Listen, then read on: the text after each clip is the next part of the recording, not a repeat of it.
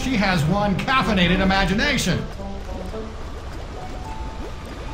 Ha! Here she is again!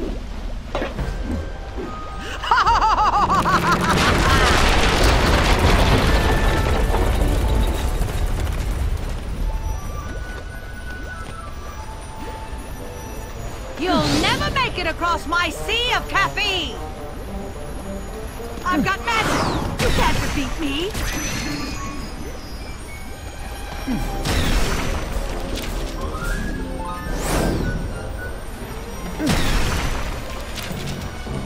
Espresso Express coming at ya!